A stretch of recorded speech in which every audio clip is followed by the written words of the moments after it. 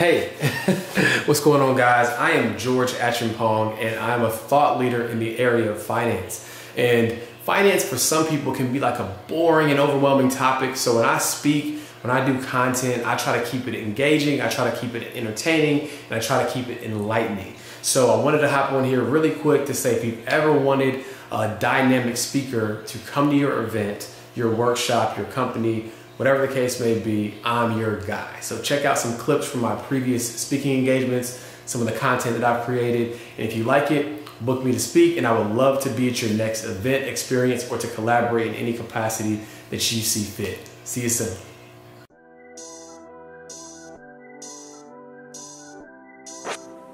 What's up, y'all? We are here at the Youth Empowerment Summit talking to 7th through 12th graders about financial literacy, everything from understanding student loans to paying off debt, understand, say, understanding how to save, and all those key fundamental things that we didn't learn when we were in school.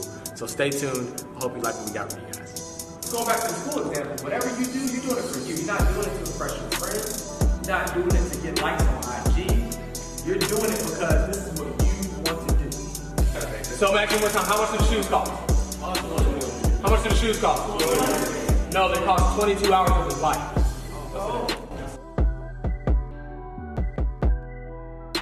What's up guys?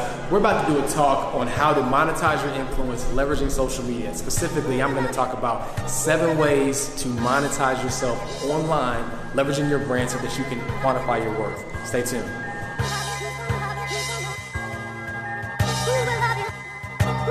You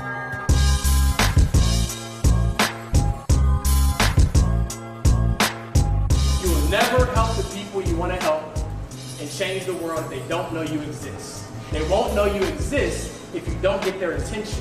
You won't get their attention unless you produce quality and valuable content. You won't keep their attention unless that content is quality, valuable, and consistent over long periods of time. With time builds credibility. With credibility comes trust. With trust comes influence, and with influence, you can change the world. Thank you.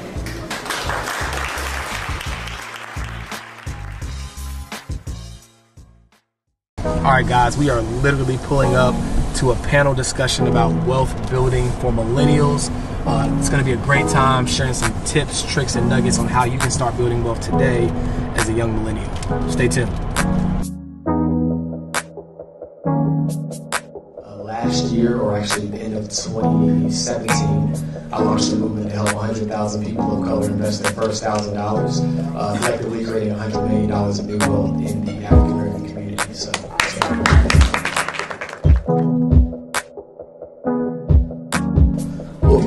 yourself, you can take a percentage and invest in yourself and have a much greater outcome because you own 100% of it, right? So start with personal development, start with investing yourself. Just wrapped up a great panel discussion on how millennials can build wealth today.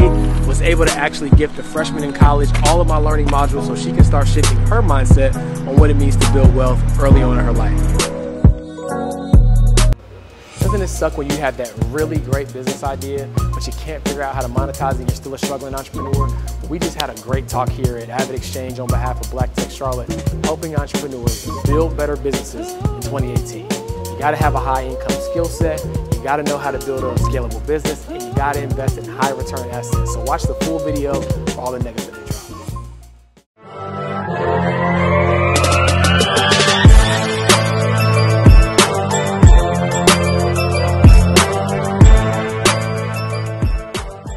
So vitamins are good for you in theory, right? Your mom told you to take them when you were a kid. You maybe even had the chewable gummies. But there's no real incentive to take a vitamin because you don't really know what the benefit is today. You're just told and you hope that it's going to provide you some benefit in the future. Versus if you break your hand, you'll do whatever to try to alleviate that pain. So when you're trying to position your product in the marketplace, my advice to you is to come out with a painkiller first versus a vitamin. A painkiller, somebody will write a blank check for. A painkiller is something that people want to alleviate that pain for in the present immediately. So stop trying to sell people vitamins, figure out what their pain point is, and you'll have a much higher probability of success.